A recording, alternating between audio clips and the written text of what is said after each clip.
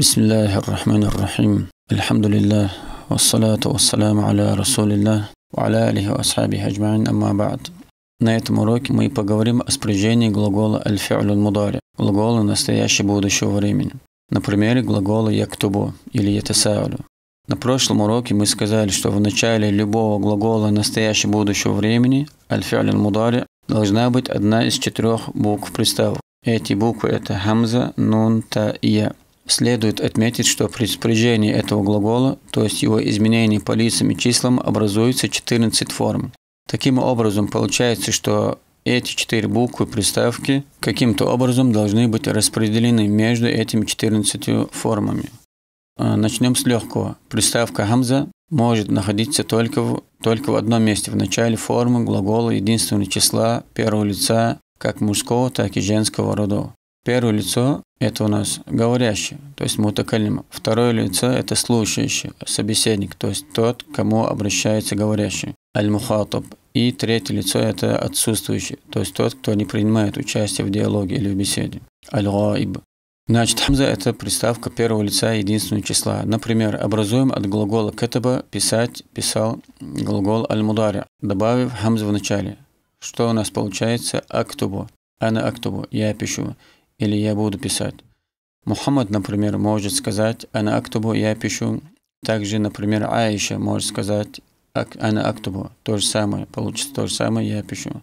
Значит, у Хамзы только одна форма из 14 форм глагола «аль-мудари».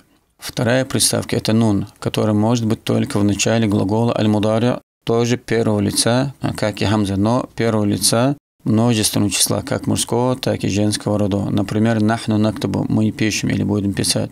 Мы студенты, например, или мы студентки. Как видим, эта форма подходит как для мужского, так и для женского рода.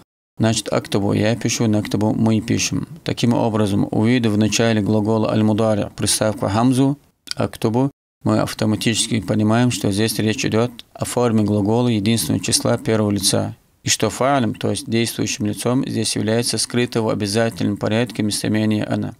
В части грамматического разбора мы подробно поговорили об этом. А если в начале глагола аль-мудар имеется приставка нун, нактубу, то мы должны знать, что это форма глагола первого лица множественного числа, и что фаалем здесь выступает тоже скрыто в обязательном порядке местоимение нахну, мы, и что эта форма общая между мужским и женскими родами. Возьмем третью по счету приставку «я», так как для нее имеется только четыре формы. Итак, любой глагол настоящего будущего времени, в начале которого имеется приставка «я», мы также автоматически знаем, что это глагол третьего лица. Значит, «я» как приставка бывает в начале, бывает только в начале глагола третьего лица. Однако, если «я» может быть в начале четырех из 14 форм глагола настоящего будущего времени, то как нам их различить? Это несложно. Так, любой глагол настоящего будущего времени, на конце которого мы видим местоимение «вау», мы знаем, что это форма глагола множественного числа мужского рода, так как этот «вау» на конце любого глагола – это местоимение множественного числа мужского рода. И если мы возьмем тот же глагол «яктубу» и присоединим к его окончанию местоимение «вау», скажем «яктубуна», этот глагол будет переводиться как «они», то есть мужчины, пишут. По местоимению «вау» мы определили, что это форма глагола множественного числа мужского рода, а по приставке «я» в его начале мы определили, что это форма третьего лица. Значит, «яктабун» – это глагол третьего лица множественного числа мужского рода.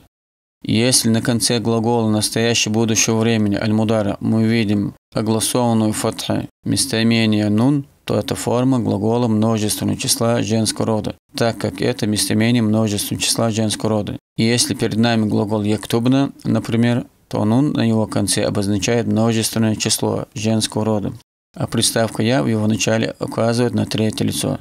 Значит, «яктубна» – это глагол множественного числа женского рода третьего лица. И это упомянутое нами правило применительно к любому глаголу аль-мудари.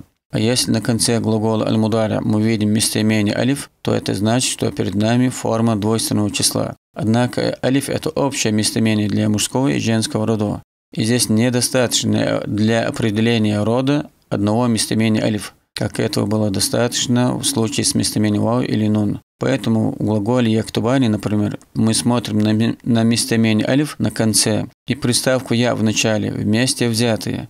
Понимаем, что перед нами форма глагола двойственного числа мужского рода третьего лица.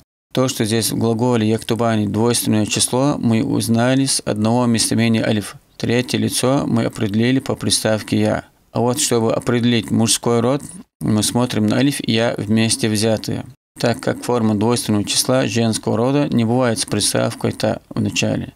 Значит, яктубани – это форма двойственного числа мужского рода третьего лица. А если на конце глагола аль-мудари, в начале которого есть приставка третьего лица «я», если на конце такого глагола не будет местоимения вау, нуна или алиф, значит это будет форма единственного числа мужского рода третьего лица.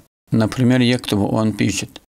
Значит, мы сегодня изучили шесть форм глагола аль-мудара, глагола настоящего будущего времени. Это актубу, ана актубу, я пишу для мужского и женского рода. Нахну нактубу, мы пишем также для женского и мужского рода а также четыре формы глагола аль-мудари третьего лица, в начале которого может быть только приставка третьего лица «я». Это «хуа яктубу» – он пишет, «хума яктубани» – они двое, то есть мужчин пишут, «хум яктубуна» – они, то есть мужчина пишут, и «хунна яктубна» – они, то есть женщины пишут. На этом все на сегодня. Продолжим на следующем уроке, иншаллах.